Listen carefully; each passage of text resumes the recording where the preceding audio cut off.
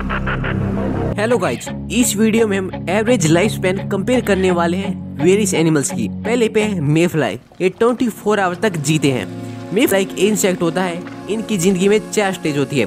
पहली स्टेज जब कोई मे फ्लाई अपने एग्स किसी फ्रेश वाटर में देती है, और ये एग्स डूबते डूबते नीचे चले जाते हैं। सेकेंड स्टेज सेकेंड स्टेज में ये एग से बाहर आ जाते हैं, जिन्हें निम्ब स्टेज कहते हैं, और ये निम्ब पानी के अंदर रहते हैं।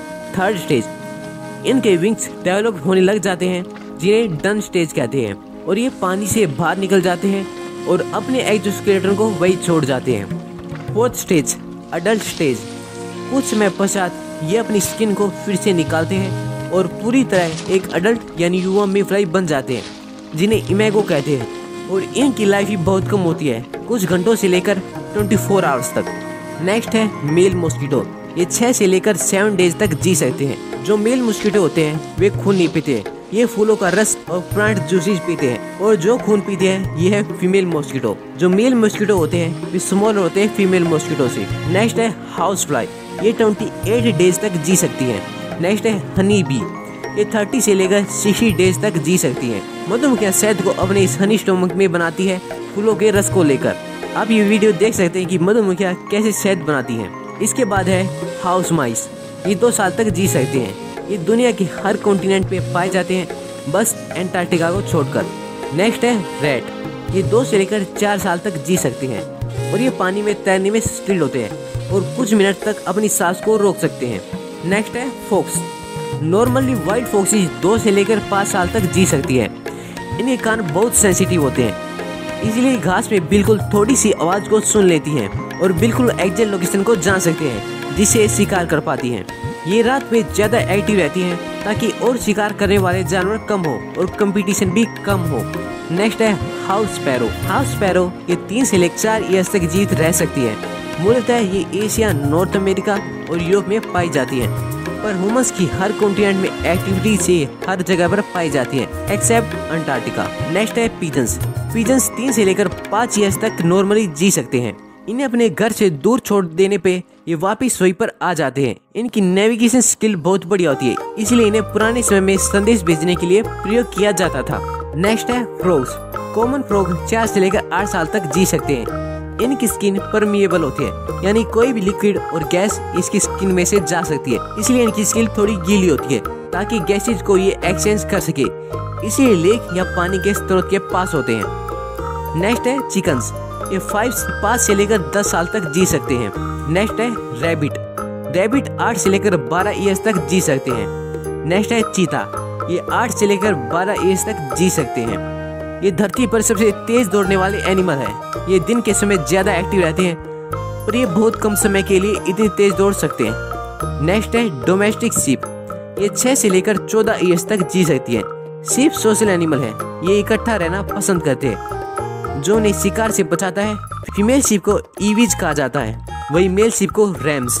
नेक्स्ट है पिग्स ये 10 से लेकर 15 ईयर्स तक जी सकते हैं। पिग्स आपको देखने में ज़्यादा इंटेलिजेंट नहीं लगते हैं और ये काफ़ी इंटेलिजेंट होते हैं और इनकी इंटेलिजेंस को डॉग से भी कंपेयर किया जाता है। मेल पिग्स को बोर्स कहा जाता है और फीमेल पिग्स को सोज नेक्स्ट है लायंस ये 15 ईयर्स तक जी सकते हैं किसी भी फॉरेस्ट में। और पर जू और वाइल्ड लाइफ में ये 20 से लेकर 25 साल तक जी सकते हैं। क्या आपको पता है कि जो फीमेल लाइन है, वह ज़्यादा जीती है 15 से 16 ईयर्स तक? जबकि मेल लाइन 8 से 10 ईयर्स तक। नेक्स्ट है टाइगर ये भी 10 से लेकर 15 ईयर्स तक जी सकते हैं और अच्छी तरह से रखा जाए तो 20 ईयर्स तक। जो फीमेल टाइगर होती है, उसे टाइगर्स कहा जाता है और वह दो से लेकर चार कब्स पैदा करती है। और जो कब अभी जन्मे होते हैं, वे अंधे होते हैं और उसकी मदर को उनकी प्रोटेक्शन और ध्यान रखना पड़ता है। नेक्स्ट है कैट्स नॉर्मली डोमेस्टिक कैट्स जो घरों में रहती है, वे बारह से लेकर अठारह ईयर्स तक जी सकती है। वैसे इनकी एज एवरेज तेरह से लेकर चौदह ईयर्स तक होती है। नेक्स्ट है काउ। नॉर्मली काउच पाँच से लेकर बीस ईयर्स तक जीती है। नेक्स्ट है जिराफ। ये 20 से लेकर 25 ईयर्स तक जी सकते हैं। इनकी नेक 6 फीट तक लंबी होती है। एडल्ट जिराफ की हाइट 14 से लेकर 18 फीट तक होती है। नेक्स्ट है हॉर्स ये 25 से लेकर 30 ईयर तक जी सकते हैं। ये 30 से लेकर 40 ईयर्स तक जी सकते हैं। ये सामान्य अकेले या छोटे से ग्रुप में रहना पसंद करते हैं। नेक्स्ट है चिंपैंजी ये भी 30 से लेकर 40 ईयर तक जी सकते हैं। ये जो चिंपैंजी होते हैं, इनमें औज़ार को यूज़ करने की एबिलिटी होती है। इन्हें पत्थरों से नट्स को तोड़ते हुए बहुत बार ऑब्ज़र्व किया गया है। नेक्स्ट है एलिफेंट एलिफेंट 50 से लेकर 70 ईयर तक जी सकते हैं। एलिफेंट बहुत सोशल एनिमल होते हैं और इन्हें इनकी इंटेलिजेंस और साथ ही इमोशंस के लिए जाना जाता है कि एलिफेंट पानी को सूंघ सकते हैं। इस वीडियो को आप देख सकते हैं। नेक्स्ट है टोरटोइज ये 100 से लेकर डेढ़ सौ ईयर्स तक जी सकते हैं। नेक्स्ट है वो हेड व्हील ये 200 ईयर से ज़्यादा तक जीती है। इन्हें इनकी इसी लंबी उम्र के लिए जाना जाता है, जो इन्हें पृथ्वी पे सबसे ज़्यादा समय तक जीने वाले जानवरों में से एक बनाता है। इनकी बिल्कुल एक्यूरेट एज अभी तक पता नहीं है। नेक्स्ट है ग्रीनलैंड शार्क। इनकी लाइफ स्पैन 400 ईयर्स तक या इससे भी ज़्यादा हो सकती है। इनके इतने ज़्यादा साल तक जीने का रीजन इनकी स्लो ग्रोथ रेट बताया जाता है। यानी ये बहुत धीरे धीरे ग्रो करते हैं। साल के केवल कुछ सेंटीमीटर ही। जो अडल्ट ग्रीनलैंड शार्क होती है, वे 20 फीट तक बढ़ सकती है। और ये शार्क बहुत ठंडे इन्वायरमेंट में रहने के अनुकूल हो चुकी है। इनमें फैट की थिक लेयर होती है। जो इन्हें आइसी वाटर में सरवाइव करने में मदद करती है। पर ये बहुत स्लो स्विम करती है 1.6 किलोमीटर पर आवर इनकी इतनी स्लो मूवमेंट आसपास के कोल्ड इन्वायरमेंट और स्लो मेटाबॉलिज्म कारण होती है। ये बहुत डीप में पाई जाती है, लगभग 2000 से लेकर 7200 फीट तक। इसलिए इनके बारे में जानना थोड़ा मुश्किल है। नेक्स्ट है ओशियन कुआहो ये कलाम की एक स्पीसीज होती है। ये 500 ईयर तक जीवित रह सकते हैं। ग्रीनलैंड शार्क की तरह ओशियन कुआहो भी बहुत धीरे धीरे ग्रो करते हैं। हर ईयर ये अपनी इस सेल में एक लेयर ऐड करते रहते हैं और इन रिंग्स को काउंट करके साइंटिस्ट इनकी एज को जानते हैं। इनकी रिंग्स साइंस की स्टडी के लिए वैल्यूएबल होती है क्योंकि वे इनकी रिंग से हिस्ट्री में क्लाइमेट और ओशन के बारे में जान सकते हैं। When a medical student forgets his headphones home. Scientist द्वारा ब्रह्मांड का सबसे बड़ा ब्लैक होल खोज लिया गया है। यह ब्रह्मांड का सबसे बड़ा ब्लैक होल है, जिसका साइज़ हमारे सूर्य से 33 बिलियन टाइम्स ज़्यादा है।